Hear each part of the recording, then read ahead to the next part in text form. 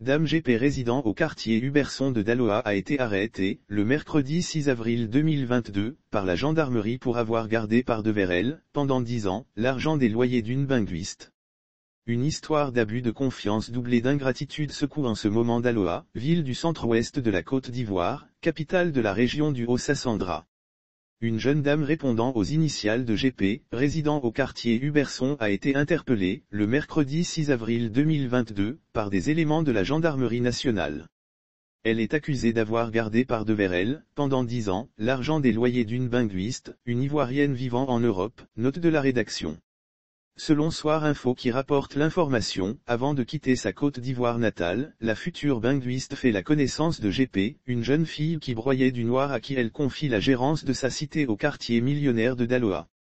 La binguiste fait preuve de gentillesse envers GP. Faisant de preuve de gentillesse, elle lui offre une maison de deux pièces, dans la dite cité, afin qu'elle suive, sans stress, ses affaires.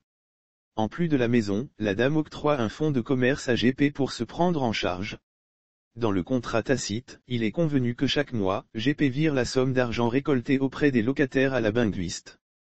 Mais au lieu de virer l'argent des loyers de la femme sur son compte bancaire comme convenu, GP garde, pendant dix ans, l'argent par devers elle. Pour tenter de couvrir ses impairs, elle fabrique de faux reçus qu'elle balance à sa bienfaitrice et se dit étonnée que la structure financière où elle a déposé l'argent ne fasse pas son travail. Elle part voir des marabouts, en vue d'empêcher l'arrivée de la binguiste par des pratiques mystiques au bout de dix ans, la binguiste veut voir clair dans l'affaire et annonce son arrivée en Côte d'Ivoire. Cette nouvelle n'arrangeant pas Dame GP. Et que fait-elle? Elle part voir des marabouts, en vue d'empêcher l'arrivée de la binguiste par des pratiques mystiques. Mais la science des faiseurs de miracles montre ses limites. Dans le courant du mois de mars 2022, la binguiste débarque de la France. Elle vérifie son compte bancaire et constate que depuis 10 ans, GP n'a fait aucun dépôt d'argent. Lire aussi suicide à Daloa, le sergent-chef de police Crash Betik Daniel se tire une balle dans la tête sentant l'étau se resserrer autour d'elle, la gérante se réfugie, quelques jours avant l'arrivée de la binguiste, au quartier Gébokora de Daloa. La bienfaitrice saisit alors la gendarmerie qui ouvre une enquête et interpelle, le mercredi 6 avril 2022, GP. Les conclusions de leurs enquêtes accablent GP. Dans un premier temps, elle tente de mener les gendarmes en bateau en leur faisant croire qu'elle a effectivement fait des transferts d'argent sur le compte de sa bienfaitrice, avant de brandir les faux reçus comme preuve. Les gendarmes prennent le temps de vérifier ces reçus.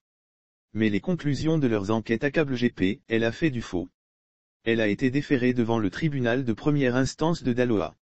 Mais bien avant son arrestation, elle était poursuivie pour des faits de violence sur plusieurs personnes dont un correspondant régional de presse, Sauf autorisation de la rédaction ou partenariat préétabli, la reprise des articles de l'infodrome.com, même partielle, est strictement interdite. Tout contrevenant s'expose à des poursuites.